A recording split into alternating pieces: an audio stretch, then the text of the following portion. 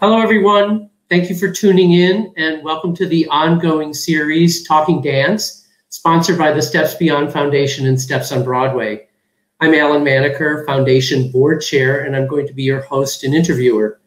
This series continues to present a, an exciting lineup of dance artists who will be sharing their stories and insights with you. They range from across the dance spectrum. The full lineup and information can be found at stepsbeyond, that's one word, dot org. There's also a place there to make a suggested donation should you be so inclined, which we hope you will be. Also, please note that you may enter your comments and questions in the chat, and we will make every effort to answer all questions asked. And if you'd like to let us know where in the world you're located and listening from, we would absolutely love to know.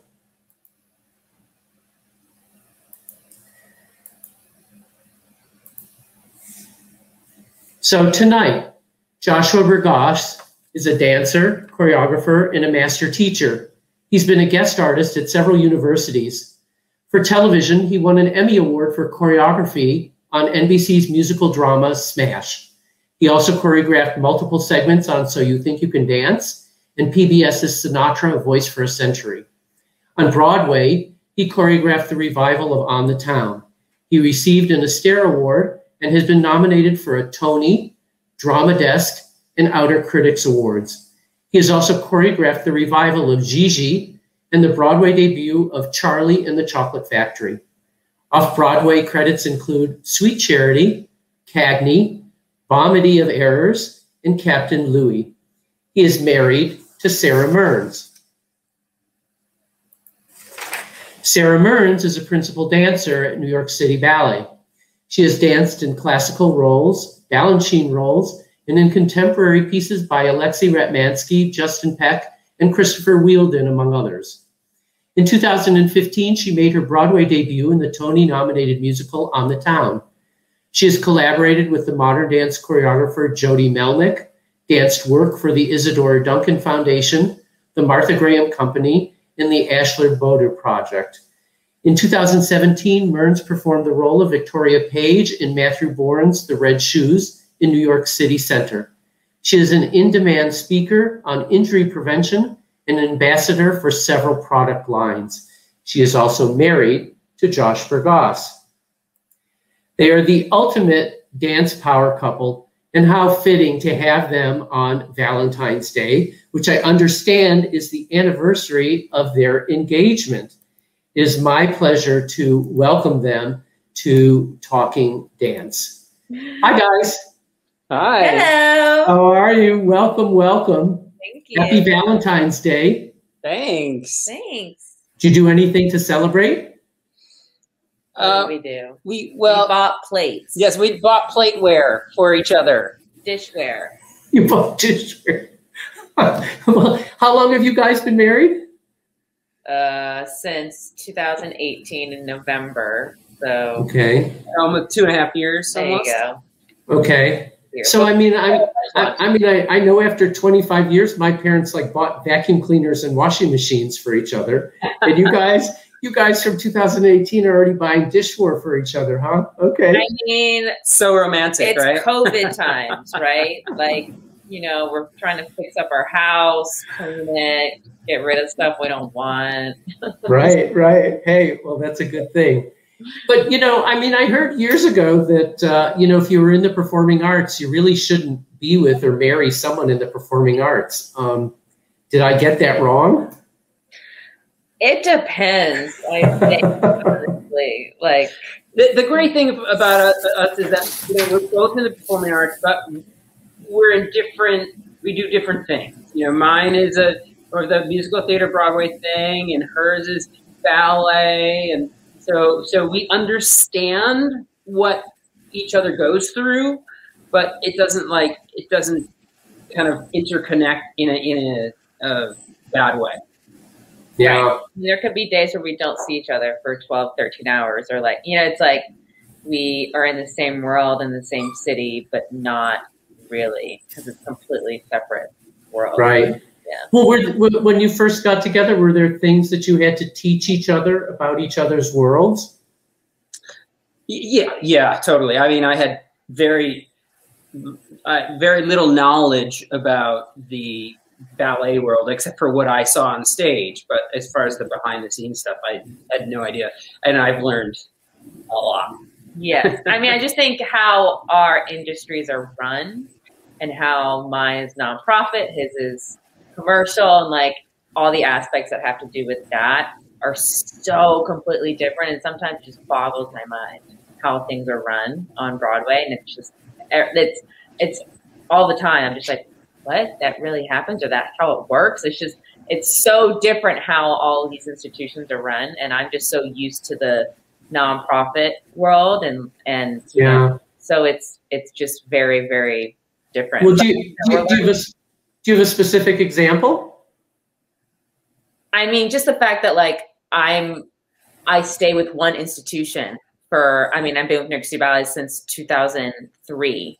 And for Broadway shows, like sometimes you only run for a year. Sometimes you're only with a show or a company for a couple of months. Then you move on to another one. And you know, you're constantly rotating and he's constantly working on different shows. And the fact, and I think sometimes he, he also acts like this, but also like a lot of dance on Broadway, it's like dancing with the same people for like 18 years you know, it's like there's like what? How do you do that? I, I, mean, and for me, uh, you know, I can, you know, it, being in a nonprofit, for her being in the nonprofit world, they know their schedule three or four years from now. I can say to her, you know, if it wasn't, uh, you know, COVIDian times, I could say, hey, what are you doing in, you know, March 3rd of 2024? She's, she can look at the calendar and say, well, I'll probably be doing Swan Lake. I'll have the evening show. My partner will be this. And for me, I have no idea what I, I'm doing next month. You know, it's, it's, it's so different.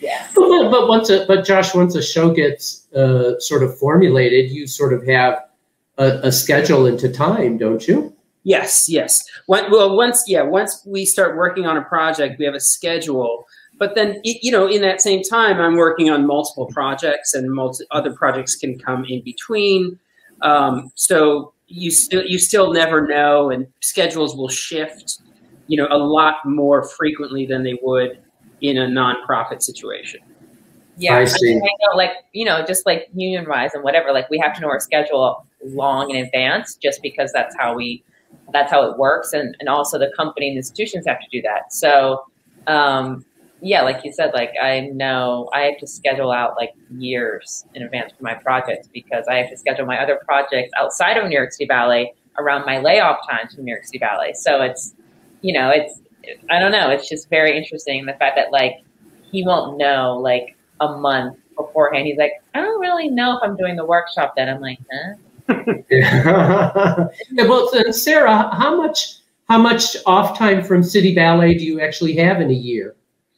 Um, it's it's interesting because other ballet companies um, we're very different in the fact that like we have four very distinct seasons that we do, and um, you know we're not just we don't just lump it all together in one season. So we have probably we have a break in March for a couple weeks. We have a break in June, and then maybe a few weeks in August and then like two weeks in October.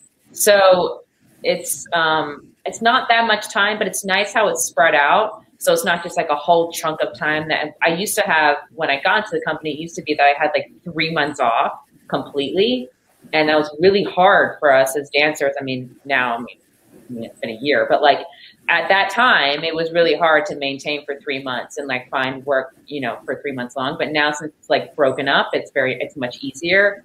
And um, I think it's better for our bodies also not to have that, so like all that time off. Um, mm-hmm. But I'm able to manage it and I like to fill those weeks and that time with um, lots of other interesting, fun things to do. Yeah, yeah. So actually, I want to back up because I want to, I want to, uh, I'm going to share my screen again for a second. Uh-oh.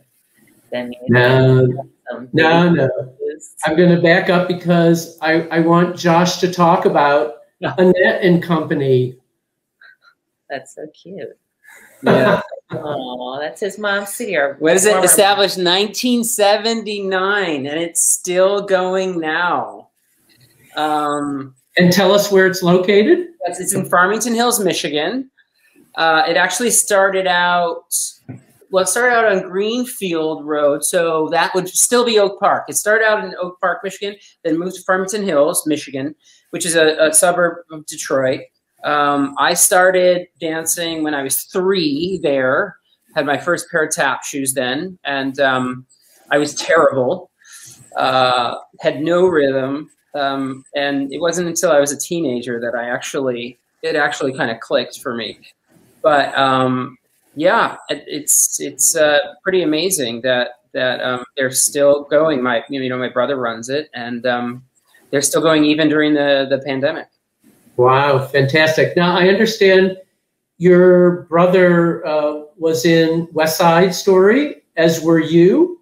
Yes. So so I was um so I have a like a kind of a history with West Side Story.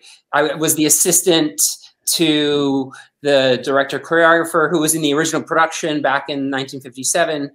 Um, and so we were doing a European tour and there was a layoff. We were, we, I think we were in Germany. I, oh, I forget. Uh, God, it was so long ago. But anyway, so, so we were down a, a jet and I said, "Well, how about my brother?" I, I told the, my boss, the director choreographer, Alan Johnson, and he said, "Sure." He trusted me, so um, I taught him. We on the layoff, I, I came home to Michigan and taught him the choreography, and then he came he came out to Europe and did the tour with us.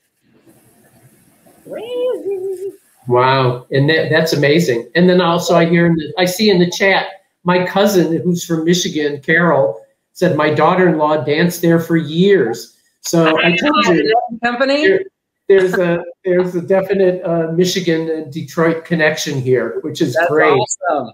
That's cute. So were your parents uh, now to run a school and encouraging a professional career in dance are two different things. Were they encouraging of you to pursue it professionally? Yeah, yes, yes, totally. Actually, um, uh, you know, I was originally not going to um, pursue a performing career. I was going to just stay at the studio and teach and and run the studio, but I ended up falling into performing, and they were very encouraging about it. Hmm. So, and when did you first start choreographing? It was at the dance studio. Uh, I would when I was a teenager and I started, you know, like I said, it clicked then, and it started, you know, started. I felt good in my body, the, the the choreography I was doing. Then I started choreographing for the recitals and competitions and and things like that, and and that's where I kind of got the choreography bug. So when I moved to New York, and between my performing jobs, I would take on uh, small choreography jobs for showcases or benefits, kind of to to pass the time. And then you know one day I got paid for it, and I thought, hmm, that's interesting. Uh, so I slowly tried to build that career alongside my performing career. And then when I got to a certain age, I I decided to focus on the choreography, and I kind of retired as a performer. Hmm. But so, who who influenced you in terms of your choreography? And I don't mean like Astaire or Fosse, but I mean every choreographer that's coming up needs someone to step back and say, "Hey, listen, this this part was good, this wasn't. Maybe rework this." Did you have someone like that for you? Um, you know, uh, my mentor was Alan Johnson, the person who I assisted, who was at with the West Side Story. Um, and he was also a Broadway choreographer. He did he did the Mel Brooks film, so he was a comedic, very very witty choreographer. Um, he did a lot of TV specials for uh, you know for um, Shirley MacLaine and Liza Minnelli. Um, so uh, that was that was kind of my mentor as I was coming up. Hmm. Hmm. That's great. So, okay, so now I'm going to share again my screen so that we can look at something. Okay. And let's see.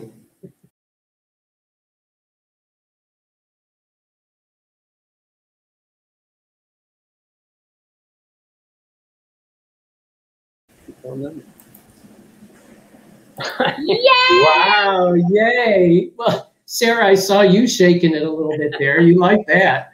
I do. I love Smash. but Josh, was it was it did they get it right? Is that the way putting on a musical is about? Um, yeah, you know what? It's so funny because I get this question a lot, and we got a lot of criticism a lot about, you know, especially from people in the industry where they said, "Oh, that's not how it happened. That's it doesn't happen like that. That doesn't happen." And what was so funny is that most of the stuff that was written for the series was based on actual events. Um, you know, not necessarily people, those people, but you know, the people writing for the series would say, "Hey, this thing happened when we were rehearsing for a show. Oh, let's do an episode about that."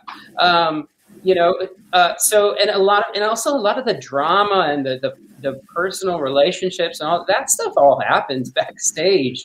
Uh, so yeah, I think they got it right. I think they really did. Um, you know, of course, it was it was you know a made for TV drama, so they embellished things a bit. But right, yeah. were you were you the one that hired the dancers or chose the dancers? I should say. Yes, yes, I chose the dancers. Mm-hmm. And then once you, uh, because were you able to choreograph with television in mind, or were you choreographing for stage that then got translated into television. Right. Well, what happened, you know, I didn't have television experience really at the when we when I got the job.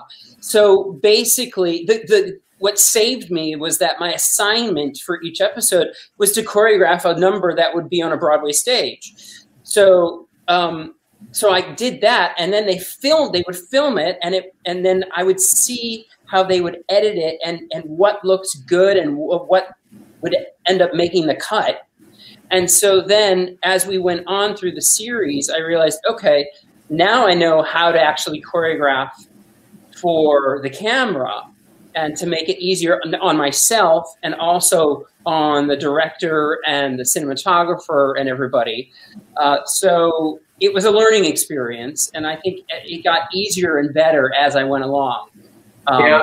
Do you have an example of something that you actually learned? Well, I mean, you know, it's simple stuff, kind of like like for that for that number, National Pastime. That was the first number I did for the show. That was in the pilot, and I made sure everything was so meticulous. Not only just what Megan Hilty was doing, but everybody on the peripheral. What like I, I drilled and drilled and drilled, and then you know realized once we saw the final edit that there's so much that I worked on that never made it to the cut and never was going to because it wasn't part of the, the, the, central action. So what I was able to do then is realize, okay, if they're not near Megan or if it's not a great shot of something else, I don't have to focus on that. I don't have to spend time on what the what's in the periphery. It's really what is the what is the central action. I see. That's that's amazing so different than what you think. So, so, so different because when you're doing it for film, for camera, the camera tells you what to look at, obviously. But when you're doing when you're doing it for stage, when you're doing it for Broadway, you have to you have to tell the audience as the choreographer, you have to tell the audience what to look at, and you have to design it so they can follow the story, but yet everything looks beautiful. Mm, mm, wonderful, wonderful. So, Miss Sara, let's talk about you. You began you began dancing at age three. Do you remember what it was like in those extremely early years in the dance studio? I mean, can you remember what even excited you when you first started? Um, I don't think I remember specific moments, but my mom always told me that I was kicking and screaming and crying going into the studio. And then once I got in there, that I was fine, that I was okay. It was like having to get in there. And I do remember like my first like friends. I was, I'm still friends with them today. One of my best friends, Christian Tworzyanski, he was in my first ballet class, and we traveled like through the systems together. Like we and we were in New York. We were in New York City Ballet together for many years. Um, so I do remember those moments, and obviously I remember like the recitals and like all the ballet numbers we did, and like I did tap jazz and I did comp like tap and jazz competitions and like all of that is still very, very vivid in my head, and um, I loved all of it, and it was it was my life basically, right? It was there was nothing else that it like my that was it besides like going to academic school. So yeah. And how about you, and, and how about you with your parents when you first uh, made sounds that uh, this might be a profession for you? Were they supportive of that? Oh, absolutely. I mean, my mom was like that. She made everything happen. She, you know, he was the one that put me in ballet. She was the one that would take me to the studio every day. And then my brother got involved into in dance, and so we were both there. And it was, you know, she would make my costumes. She would make everybody's costumes. She would help sew them. She would do everything. And then she would drive us to SAB in the summers, you know, from South Carolina. And so she's been there every step of the way. And of course, I mean, yes, it's really hard to let your child go at such a young age, but I do think that she understood that if I was going to go professional, if I was going to make it, and my teacher, Ann Brodie, Miss Ann Brodie, who passed away when I was young and the studio closed, she said Sara needs to go to New York. She needs to be in New York.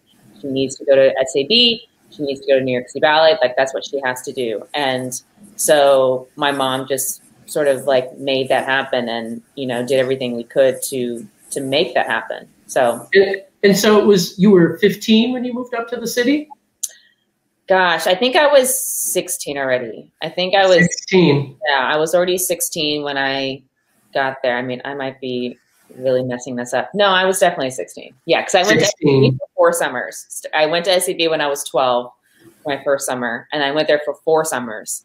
And then I stayed for the year after my fourth summer. So, yeah. And were they? And did, did did either of your folks come up and stay with you, or were you on your own? No, I my brother was actually already at the school for the year term, um, and uh, no, the I think since I've been going there for the summer programs, and my brother was already there, like my mom was very comfortable with the situation and the environment that I was in because we're at Lincoln Center and it's a very safe environment in this area. So we were very aware of everything. Um, but unfortunately, two weeks after I moved up there, September 11th happened. So it's sort of everything got real crazy. But she knew that my brother and I were together and that it was going to be okay. Um, but yeah, I, I we, we always felt like it was a very um, okay environment to be in. I was never nervous or scared or anything. Right. But so um, when you first started coming up in the summer, and you were coming up from where? South Carolina? Yeah. Uh, was there so New York is a is a very ultra competitive kind of a place. Was it a kind of a cold water in your face to confront the competition and the competitive nature that uh, was happening up here? I mean, I don't really remember being nervous or scared about the competition. I remember that there was a lot of students. There was a lot of really, really talented girls around me. That's what I remember. And I remember that uh, it made me work harder, but I wasn't like competing with them, you know, if that makes sense. Like it, it was just like it, it made me work harder and inspired me to work harder. Um, and I, you know, I was very aware around the third or fourth summer that I was not in the top of the class ever. And I was really, um, you know, I was sort of like getting by. And uh, because, you know, they accept students from all over the country and there's just so much insane talent out there. And they were all there at, near, at SAB. So I was sort of just like middle range, bottom. And that's why, you know, I asked them to stay at the end of the fourth summer because I didn't have anywhere else to go. And I knew if I went back to South Carolina, I probably would have stopped dancing. Um, so, but Sara, let, let me interrupt for a second. How did you know? What what told you that you were maybe at the not at the top of the class? How did you know that? I just from looking at the other girls around me, like I just knew it. I didn't have their jump. I didn't have their extensions. I didn't have like the persist like the precision and like I just I knew that I I had a lot to work on. I don't. It, it wasn't that like the teachers told me that. It wasn't that um, you know the other girls were telling me that. It wasn't about that. It was just like I was very aware of what I was seeing and what and how I was looking up against them. So, um, but I did have this this insane passion for dance and I was always just trying to get into the front. And I was like, I would move around the studio, and I was first in the studio, last to leave. Um, and I just loved, loved dancing. And because I was doing recitals and competitions from such a young age, not to win them, I never won a competition by myself ever. But it wasn't about that. My teacher, my tap teacher, wanted us to get out there and perform in front of people. He wanted us to get the nerves out of us and be comfortable on stage. Um, so I think that's what really, really helped me um, mm-hmm. when I got into situations like that. So I wasn't, I wouldn't get nervous. I would just like be myself and dance. And um, yeah. But so I'm also curious. Um, those girls that you thought were so much better than you, do you know where they are now? I do. You do. I do know where they are now. Um, I mean, a lot of them did make it. Into, they did make it into the company. They're still there now. Um, so did, some did make it into the company, and then they left and they went to school and like you know they have business majors and like you know they're doing other incredible things. Um, some didn't stay at SAB, some left. I mean, it's just it's it is crazy to think about like the trajectory of everybody that went there and who like kept on going and who didn't. Um, yeah, I just think I was I would never take no for an answer, basically, even though yeah. I knew that I was going to have to work twice as hard as everybody else. I just was never going to take no for an answer, and I was just going to like show them that I could be there and that I could do it, even though it was going to be really hard. Hmm. And you've danced so many roles at City Ballet. Do you have a favorite? Oh gosh, that is such a hard question, Allen. Oh well, my goodness. It's not supposed to be easy here, Sara. God. Uh, um, okay, that's true. I've done a lot. I mean, when I will take your t- I'll take your top three. Okay. Your top three favorites. Oh, that's even hard. Okay.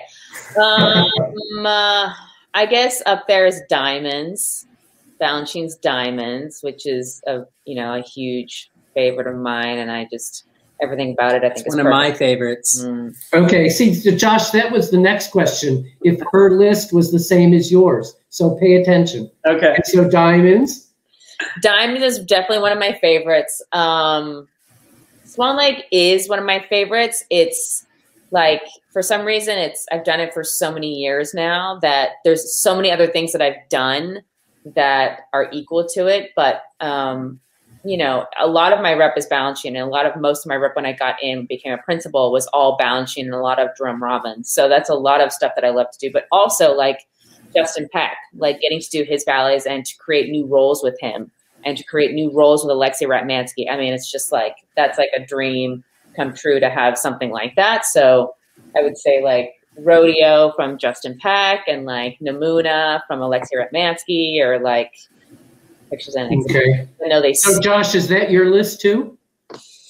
Yeah, it's that's some pretty good stuff. I mean, rodeo. I love I love her in rodeo, and and definitely, you know, I'm also a sucker for the Sugar Plum Fairy when she does it. I mean, I think that it's a pot. It's a great pas de deux, but but also there's Faust.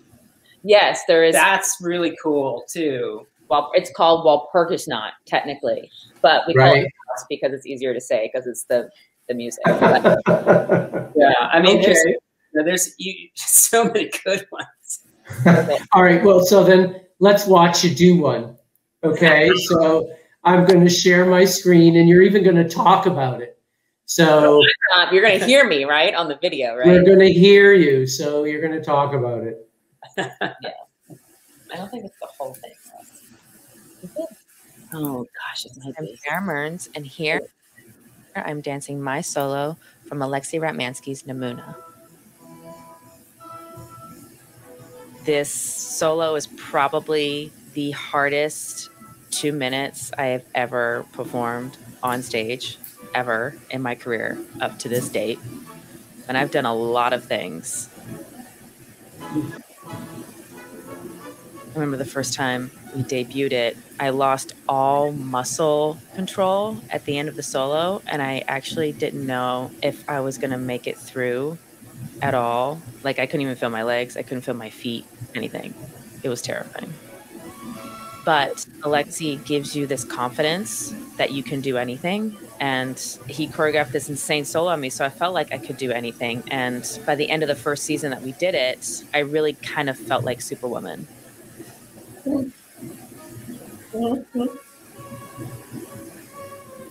This next section is the breathing moment because there's no jumps, there's no turns, it's just tendus. But he wants them to be as stretched out as possible. So I have to keep moving even though I'm not moving.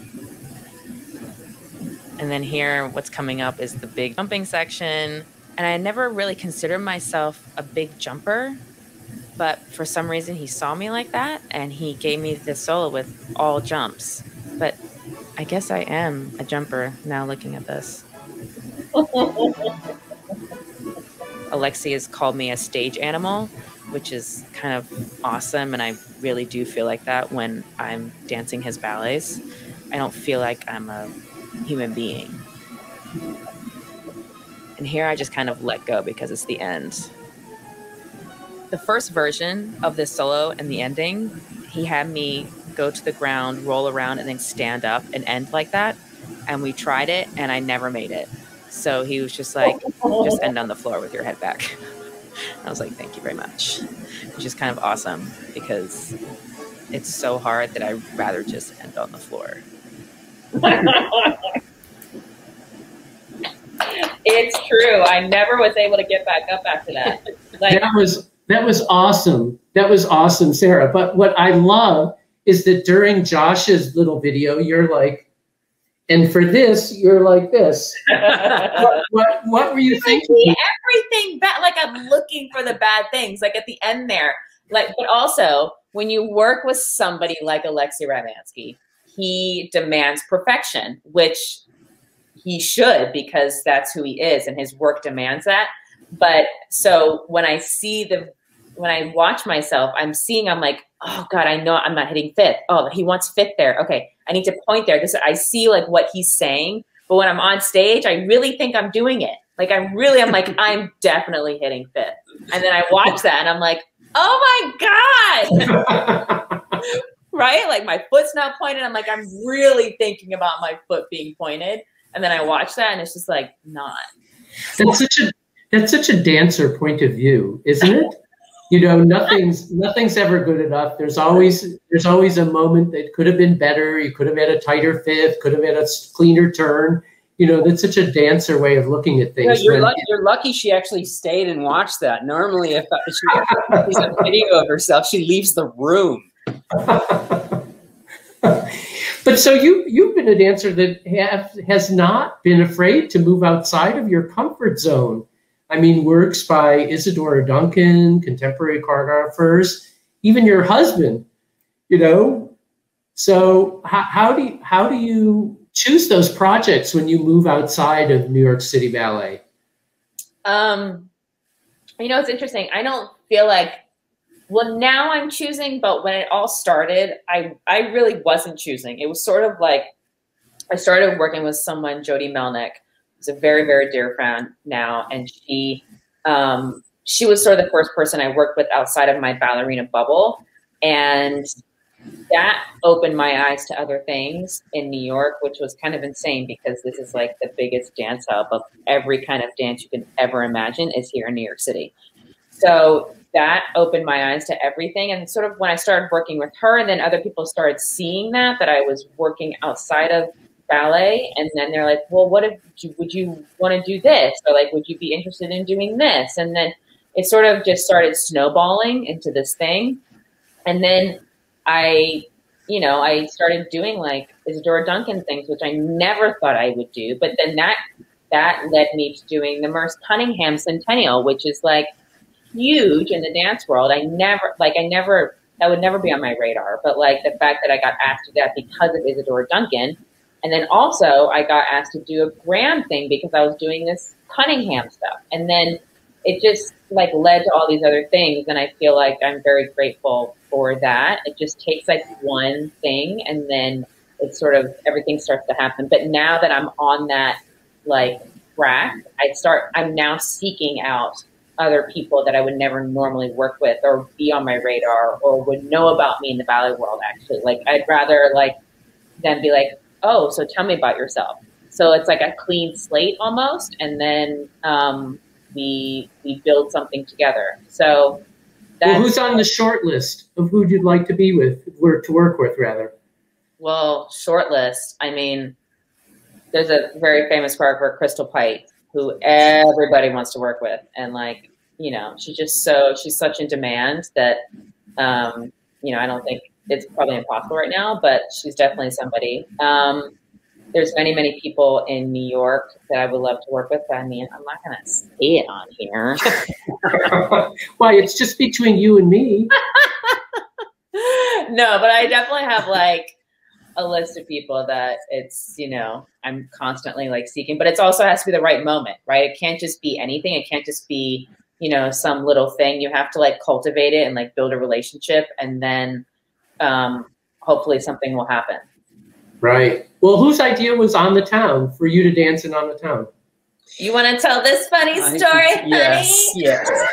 so, we did it. We did a workshop of on the town, um, and and uh, Sara created this pas de. So I, I, she created this pas de with an old uh, a partner of hers, former partner Stephen Hanna, uh, in the workshop. And I didn't create it. I was I was choreographed on. Well, you're right, right. So we created it on Sara and Stephen, um, and then you know when when on the town uh, got a theater and, and, we went to Broadway. Uh, you know, Sara obviously had her commitment to New York City Ballet, so there was no way that she could do the Broadway show. So um, then once we were in the run, uh, there were three ladies who knew. Wait, he's missing a very like important element. I joked to him when we were at the workshop or something, or like he was putting the show together in the theater. I was like, oh my god, what if I had to like come and like do this? Like that would be so funny if I just had to like drop in and like do this one thing. And then like of course we like so, forgot about it. it never happened. So fast forward to there's one afternoon where the stage manager calls me and says, all of the three ladies who know the choreography to the pas de deux uh, are out. They can't do it. And, and, and they were trying to, they, they said, should we cut it? We can't, no, no, we can't do that. It's going to mess everything up. And so she was in rehearsal for, for City Ballet, and I just left her a message. I said, honey, you're going on tonight. you're going to make your Broadway debut. And so it was four thirty in the afternoon. Yeah, and the show was at seven, probably, right? Yeah. So so then she came, she called me and back it, it after year. rehearsal and it said, "Are you kidding me?" it had been a year. It had been a year since she did it. I totally and, forgot about it. And so she she we took her to the theater right after she was done at City Ballet. Took her to the theater, tried on a costume. She had like a ten minute rehearsal with Stephen and then curtain up and she she made her Broadway debut, and and it, she was brilliant. It was, it was, it was so weird. It's like I think about it, and I'm just like, did that happen? Like I was just like literally an hour, and like that was it. But like I love because Megan Fairchild, who was the lead, you know, she was there backstage, and she was like. Ah!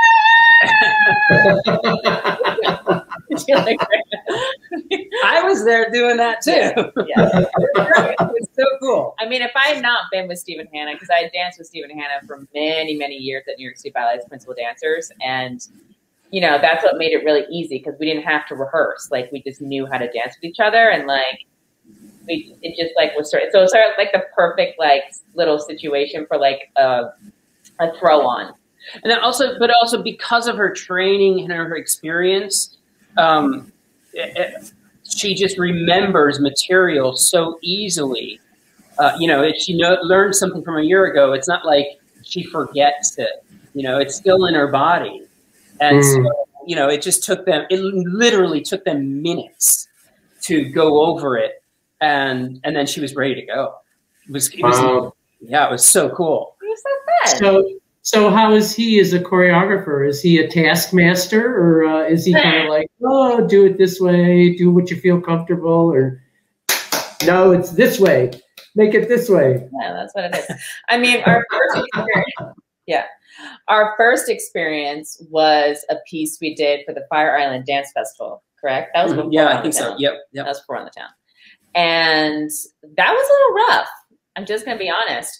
It was just like I didn't know how he worked in the studio. He didn't know how I had worked in the studio. And like, it was sort of like we were like thrust into this situation and like we were both like, yeah, it'll be great, it'll be fine. And then we're both like, wait. wait, wait, wait. That, the Fire Island Dance Festival is you were already a couple or you had not, yes. you were not a couple yet? But it was very, it was like the first year in our yeah. relationship.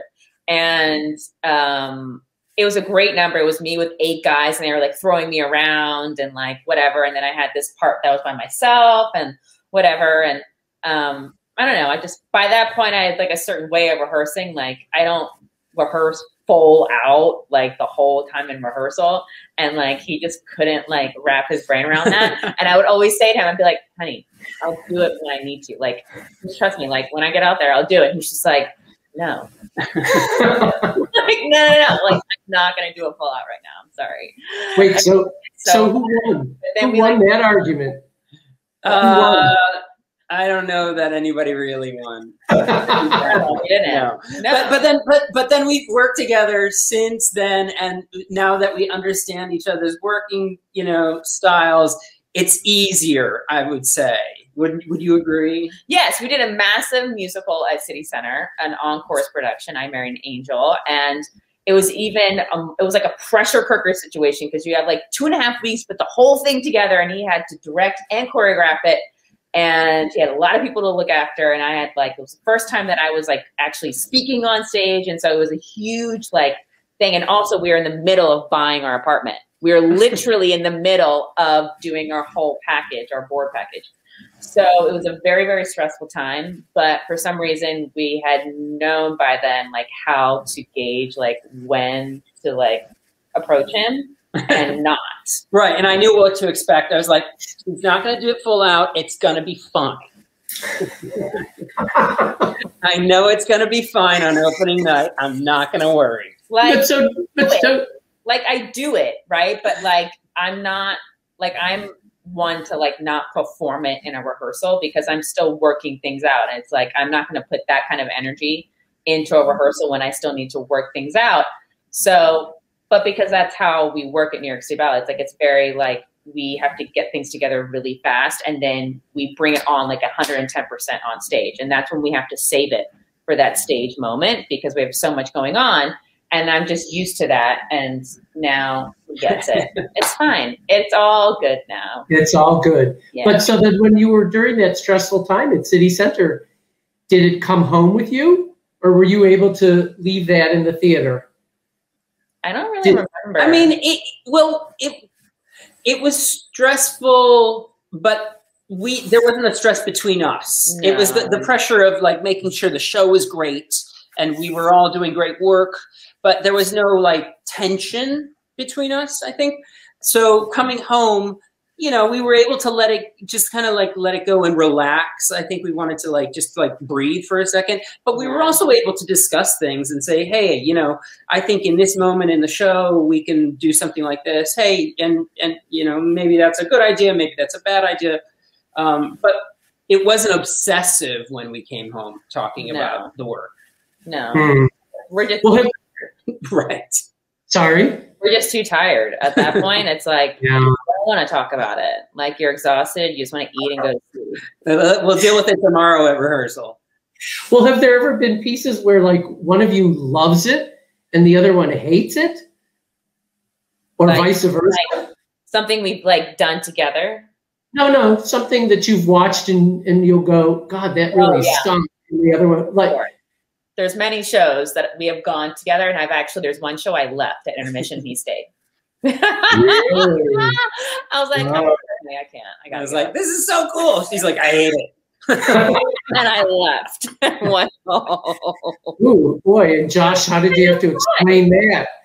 Where's what, your wife? Well, how did you explain that? Oh, she wasn't feeling well. Well, you know the tr- the, the trick is the, the secret trick is you just don't tell people that you're at the show. That's true. So so they don't if they don't know you're at the show, then if she leaves, nobody knows. Yeah, and you like ghost out. Like it's intermission, so like you just get up as you're going to the bathroom, and then you just like never come back. And like, I just didn't like. I really it was like a passionate thing for that show. I was like, I cannot sit through another act of it. But you know, whatever, it's fine. I mean, there's things that I love, and he's just like, oh my god, Yeah. like how? and you, Josh, well, Josh, have you had the same experience where Oh, oh there's yeah. something that, you're, that she loves and you just can't stand? Yes, yes, certainly. Like uh, like uh, uh, like if uh, there are ballets that I'll say, you know, I just I I don't like it. And she's like, "How do you not like that? It's so brilliant, and it's the, it's it's like a part of history, and it's this and that." And it's like, eh, I, was kind of bored. Um, okay. yeah. But, but I'll- you've, but you've never you've never left at intermission. Um, I, sometimes I only leave at intermission when she tells me to. When she's backstage and she says, "I'm done. I'm in my dressing room. I want you to come visit me in my dressing room," That's true. And that, that's when I'm not allowed to see the rest of the show. I see. Okay. Well, we all have our we all have our mas- our taskmasters, don't we? Yes, That we I have would, to listen I would to. like to stay, but she says, "No, you got to come backstage." Yeah. So now let me t- let me ta- t- turn to something kind of serious about today's world. How have you guys been coping during COVID and all of this craziness and lockdown and horrible loss of Broadway and the theater? And can you talk about it? Um, Yeah. Well, uh, you know, I think, gosh, it's so hard. Um, work wise, I mean, you know, career wise, it's been it's been challenging, but but at least for for me, the whole thing has been focusing on future and the future and development of the projects that that I have. And that's that's where my you know all my colleagues are as well. It's like you know all the producers and the writers and they're we, we've basically just been saying okay so how do we get ready for when this comes back? Let's make our show better. Let's rewrite it. Let's write new songs. Let's uh, you know what i mean? So we've been really doing a, tons of homework uh, to to develop the, the the shows and the projects and make them even better so so that they're ready uh, but but you know it's hard, and you have to take it. You, you kind of have to take it day by day, and, and and some days you have to be okay with just just um, you know not not being happy and and just dealing with that. And then other days, you know, you, you have you have good news, and and and you kind of uh, you know thrive on that. Um, it's been it's been particularly hard, I think, for the Broadway community because you know we've been totally shut down. And it's and, and there's really not much going on especially for musicals um, and choreography for musicals.